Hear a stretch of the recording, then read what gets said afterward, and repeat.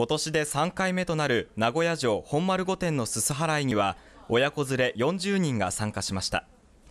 長さおよそ5メートルある竹竿に笹をつけた手作りのすす梵天を使い軒下に溜まった埃などを丁寧に払い落としていました。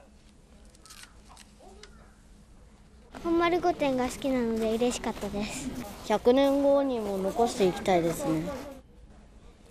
名古屋市ではすす払いを通して文化財への愛着を深めてもらいたいとしています。